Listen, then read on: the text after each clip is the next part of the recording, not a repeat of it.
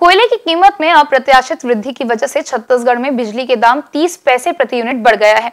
सरकार ने संकेत दिए हैं कि अगले कुछ महीनों में बिजली की दर और महँगी हो सकती है। मुख्यमंत्री भूपेश बघेल ने कहा तीन चार हज़ार रुपए प्रति टन की जगह अगर विदेशों से पंद्रह से अठारह हज़ार रूपए टन का कोयला आएगा तो उत्पादन महँगा होगा। सीएम ने कहा, इस महँगे कोयले का अभी पूरा इफ़ेक्ट आना बाकी है।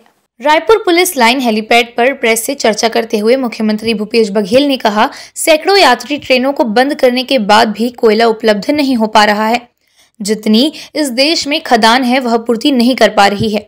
इसके कारण से केंद्र सरकार विदेशों से कोयला मंगवा रही है। यहाँ का कोयला तीन चार हज़ार रुपए टन है तो बाहर का कोयला पंद्रह से अठारह हज़ार रुपए प्रति टन आ रहा है। इसके कारण बिजली उत्पादन महँगा हो गया है। अभी तो थोड़ा बढ़ा है, यह और बढ़ेगा। मुख्यमंत्री ने कहा, जब आप अठारह हज़ार रुपए प्रति टन में कोयला खरीदेंगे तो बिजली फिर महँगी होगी।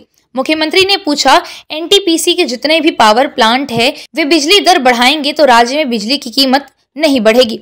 उनका कहना था, अभी और तैयार रहिए। इसका पूरी तरह जब इफ़ेक्ट आएगा तो बिजली का बिल और बढ़ जाएगा। कोयला उपलब्ध नहीं हो पा रहा है। जितने देश में खदान है, वो पूर्ति नहीं कर पा रही है।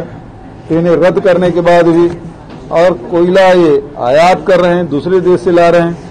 यहाँ के कोयला तीन चार हज़ार रुपये प्रति टन है तो बाहर से कोयला पंद्रह हज़ार से अठारह हज़ार रुपया प्रति टन है। और इसके कारण से बिजली जो उत्पादन है वो महँगा हो रहा है। अभी तो थोड़ा बढ़ा है, ये और बढ़ेगा, क्योंकि कोयला अब अठारह हज़ार रुपये में जब आप प्रति टन में खरीदेंगे तो फिर बिजली फिर महँगी होगी।